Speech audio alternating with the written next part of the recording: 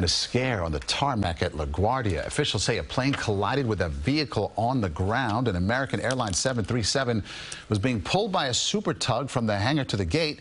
It's not clear how, but the plane and tug collided, leaving the tug crushed underneath.